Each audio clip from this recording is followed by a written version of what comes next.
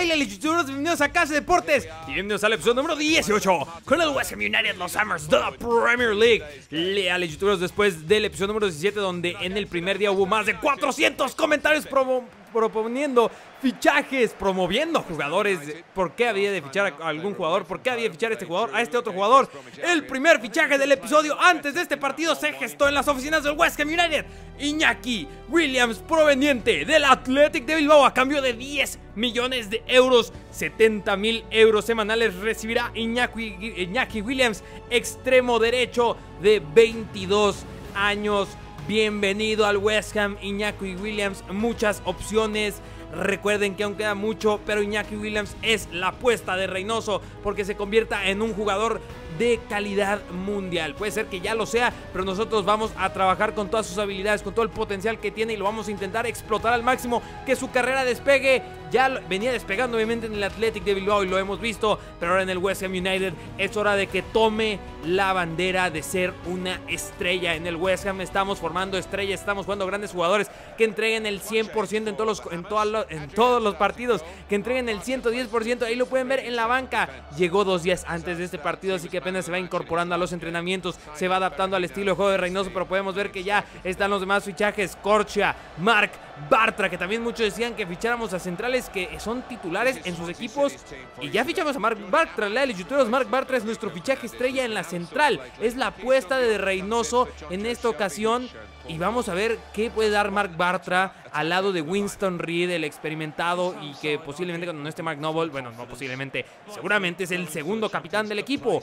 Estamos, estábamos buscando un central que venga desde la banca, posiblemente uno joven para desarrollarlo y posiblemente en algún momento sustituya a Winston Reed. Ya trataremos eso más adelante. Pero estamos aquí en Boleyn Ground, primer partido en nuestra cancha, después de un empate eh, contra el West Bromwich, que de verdad no debimos haberlo empatado, era para que lo ganáramos. Primer jugada del partido, en el pase para quién, para Dimitri Payet, el francés, que vean, error en la defensa del Swansea y vemos por la banda de la derecha Manu Lanzini. Manu Lanzini, el nuevo 10 del West Ham United, que vemos, corre, recorta en un palmo de terreno muy recortado donde había muchas piernas, muchos jugadores del Swansea. Pero ahora tiro de esquina para Manu Lanzini que lo cobra. El rebote le va a caer a Manu Lanzini que así lo manda sin pensársela. El remate de Mark Bartra.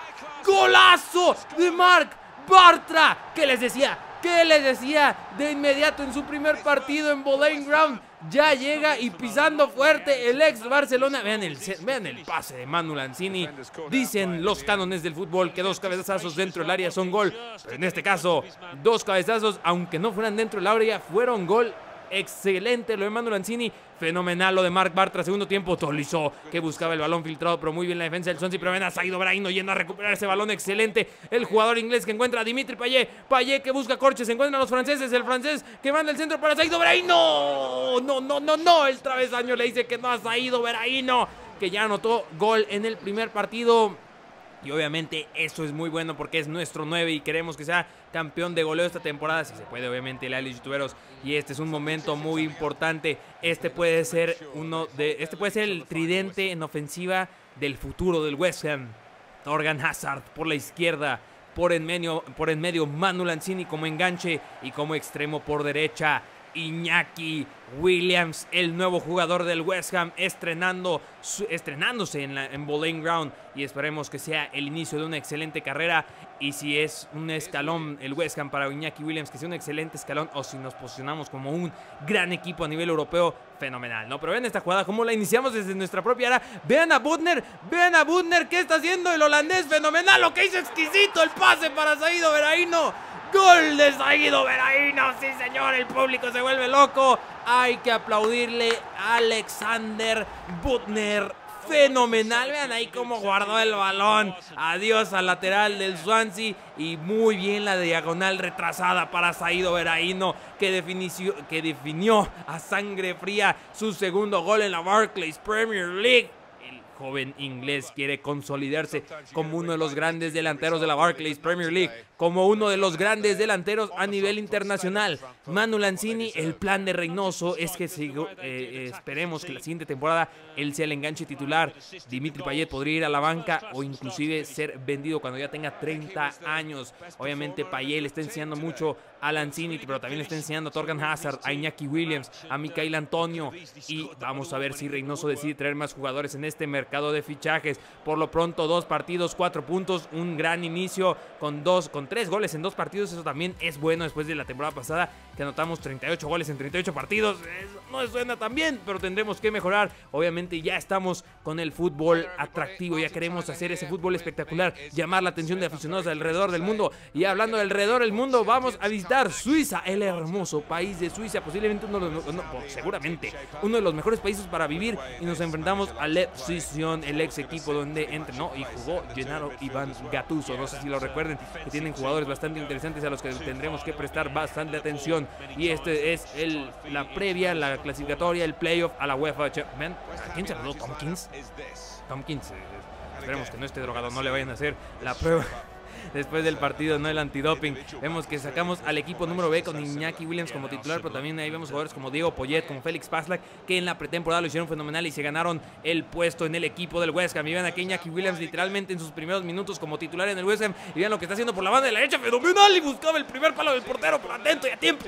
El arquero de la decisión, Iñaki Williams, ya generando peligro con su velocidad, con su vertiginosidad es un excelente jugador. Me alegra que hayan votado por él. Si me siguen en Twitter, hicimos polls, inclusive Joel Campbell. Se hablaba también de Wilfred Zaha, pero ustedes decidieron que fuera Iñaki Williams. Esto es una democracia y además yo estoy muy contento con esa decisión. Y ven aquí el pase para Dimitri Payet que prueba con el cañonazo. Pero muy bien ese arquero. Ojo con ese arquero, ¿eh? Iñaki Williams que se junta con Félix, con Félix, con Félix Pazla, que este puede ser el futuro de esa banda. Y ven Iñaki Williams, prueba desde ahí Iñaki Williams. Si anotabas eso, ya te hacíamos titular de inmediato, pero en el equipo número a.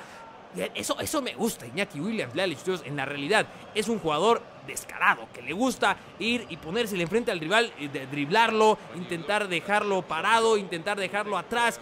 Es un jugador de esos extremos que a uno le gusta ver por su velocidad, por eso, sobre todo porque es descarado, porque hay unos que prefieren ir por el toque, pero él quiere driblar al jugador y después, obviamente, hacer lo mejor posible, la mejor opción que se le presente. Iñaki Williams ya lo decía, obviamente Carlos Reynoso con todos sus jugadores espera ayudarlos a mejorar en su carrera, a atraer la atención de otros clubes. Sí, Carlos Reynoso sabe que este es un proyecto en construcción y hay equipos como el Real Madrid, como el Barcelona, no son equipos en construcción como el Bayern Múnich, que son equipos ya bien consolidados y que les puede interesar jugadores como los que tenemos. Hablando de equipos bien consolidados. Carlos, ¿qué está diciendo? El Chelsea está en el lugar 16. Es el actual campeón, no lo olviden. Dios mío. Visitamos Stamford Bridge para enfrentar al Chelsea y Lelich Uno de mis argumentos por haber fichado a Torgan Hazard, un argumento terciario, tengo que decirlo, no era los más importantes. Recuerden que yo me fijo más en lo que puede aportar el jugador, sus cualidades, sus habilidades. Había dicho que podría ser la rivalidad Torgan Hazard contra Eden Hazard, pero si hacemos memoria, Leales youtuberos, Eden Hazard en esta realidad West, Hamística fichó por el Paris Saint Germain. Ay, Carlos. no importa, les decía, es una decisión que e, esa parte pasa a un tercer plano, no era lo más importante y más cuando aquí tiene el balón Torgan Hazard por la banda de la izquierda, recorta, se perfila para su pierna derecha y Thibaut Courtois en un enfrentamiento de belgas lo terminó ganando el portero belga, obviamente y el mediocampista belga. belga. Muy buena tajada, toda la estirada de Thibaut cortó enseñándonos todos sus reflejos. Y Torgan Hazard que quería anotarle a su ex equipo. Ojo con eso, que es aficionado del Chelsea. Vean aquí este contragolpe. Salimos desde tres cuartos de nuestra propia cancha. Dimitri Payet con Saido Bereino y ahora con Torgan Hazard, el 7 del West Ham. Vean aquí todos pisando el balón, no se van a hacer otra jugada. Pero vean el pase al espacio a Dimitri Payet, que es el incansable Dimitri Payet. No es cierto, se cansa bien rápido. El pase de Torgan Hazard para Saido Bereino que intenta rematar, le cae a Mark Noble. Mark, no. Siguiente jugada. Torgan Hazard que busca a Saido Veraino. Vean el control. Y ya entró al área. Y le al youtuberos. Ya nos habíamos tardado. El episodio pasado hubo penales, hubo definición por penales, inclusive Jerome Boateng en el Chelsea, que ojo que sería un fichacazo, imagínense a Jerome Boateng al lado de Kurt Zuma, sería fenomenal, lo habló un aficionado del Chelsea, pero aquí se vuelve loco, inclusive con Gary Cahill, pero yo veo en el futuro a Kurt Zuma. Se volvió loco Jerome Boateng, se ha ido Vereino en el suelo, voltea a ver al árbitro, sabe que le van a dar el penal, los aficionados del Chelsea diciendo, no viejo, por favor, no, no, no, y Saido Vereino dice, sí, sí, gol de Saido Veraino, tres goles, tres partidos. y así lo celebra Saído Veraino. Es el éxtasis total de, total de todos los aficionados que hicieron el viaje. Y ahí su mensaje para su novia, te amo mi amor. Torrean Hazard, Mark Noble y Manuel Lanzini celebrando el gol de Saído Veraino en Stamford Bridge. No lo puede creer ni Manja Matic ni Jerome Boateng. Thibaut Courtois ni siquiera decidió ni lanzarse para la fotografía. Mal viejo, pudiste haber hecho mucho más. Tú eres una taja penal, Courtois. De verdad, hubieras intentado al menos. Saído Veraino, no le importa. Tercer gol en la temporada. Y eso es una excelente noticia para Carlos Reynoso porque su delantero que vino en invierno le está funcionando. Pero desde ya, leales youtuberos, analicé muchos de los jugadores. Obviamente basado en todo lo que ya les he contado en episodios anteriores.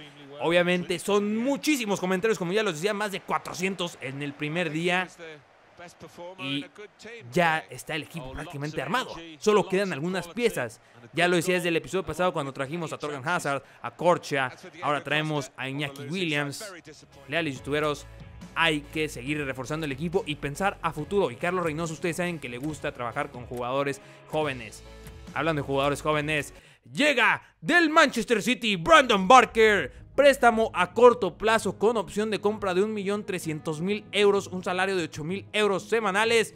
Leales youtuberos, decidiremos alrededor del mes de diciembre si Brandon Barker puede llegar a ser un jugador a futuro de ese 11 que estamos viendo en 4 o 5 años en el West Ham. Pero no es el único, este es un tipo de central de los que yo les estaba hablando. No hablaba de un Laporte, no hablaba de Sergio Ramos, no hablaba de Martín Cáceres, obviamente son tres centrales distintos. Hablaba de un estilo, Tyler Blackett, que conoce la Premier League, que inclusive fue titular un tiempo en el Manchester United, sí, en la locura de Luis Van ya lo sé. Pero aquí tenemos a Tyler Blackett llegando al Manchester United y un arquero suplente, Rob Green, que es uno de los mejores arqueros que yo he visto en los últimos años, honestamente. Yo sé que hemos visto, y en el 2010 el que haya visto el primer partido de Inglaterra en ese mundial, se va a acordar muy bien de Rob Green, pero es un arquero fenomenal se está retirando, llega en un contrato un año con nosotros, es el portero suplente, tiene 36 años, el arquero titular es Adrián. Así luce el equipo número A, leales youtuberos. No se ha acabado el mercado de fichajes, pero quiero que hagamos este análisis. Siempre los invito al análisis, no solo decir, compra este jugador porque es mexicano. No, leales youtuberos, eso no es un análisis, este es el equipo número B. Podemos ver que algunos puestos pueden ser ocupados. Ahora te lo estamos intentando vender. Podríamos traer a un mediocentro ofensivo al que a mí me gustaría traer a Andreas Pereira. Se me dio un, fichaje muy interesante. Ahí tenemos a Barker en la banca. Tenemos también a Matt Jarvis, que él podría venir desde la banca para cubrir el puesto del extremo por derecha. Vemos que el otro jugador en el que estoy pensando que no es Pereira, es Adam Armstrong, inclusive ya estoy intentando traerlo, tiene 19 años, es un jugador inglés. La única nacionalidad que les he dicho a los que sí le doy prioridad es la inglesa. ¿Por qué? Porque estamos en la liga inglesa. Muchos me han dicho, compra este jugador porque es mexicano, compra este jugador porque es venezolano, compra este jugador porque es argentino. Leales youtuberos, la nacionalidad para mí casi ni siquiera la tomo en cuenta solo con los ingleses, por eso mismo que digo, porque soy un técnico que le gusta trabajar con jóvenes y obviamente desarrollar el talento inglés estando en la liga inglesa y estando en el West Ham United es algo muy importante para mí, es, una, es parte de la filosofía del club que intenta adaptar Carlos Reynoso. Aquí podemos ver que ya estoy intentando traer para esos puestos que faltan en el equipo jugadores ingleses. Barker es inglés, Armstrong es inglés, ahí en ese caso no entraría Andreas Pereira del Manchester United y Rob Green es inglés. Ya tenemos una base inglesa muy interesante complementada con los fichajes que muchos de ustedes lo recomendaron, muchos de ustedes yo sé que no y querían otros jugadores. Lo siento, leales youtuberos, somos más de 32 mil suscriptores, no puedo complacer a todos. Recuerden que intento complacer a la gran mayoría y intentando mantener el realismo, el entretenimiento y que aprendan de fútbol, que yo aprenda de fútbol, que nos divirtamos, que nos entretengamos, pero también el aprendizaje siempre está de por medio y siempre lo fomento, leales youtuberos, como conozcamos a otros jugadores. Leales youtuberos, espero que hayan disfrutado el episodio, así que ¿quién debería llegar? Eh, mi análisis es que debería llegar un mediocentro ofensivo a futuro del tercer equipo de rotación, como ustedes quieran llamarlo, pero que pueda llegar a pelear por un puesto a futuro. un ejemplo es Brandon Barker y Tyler Blackett.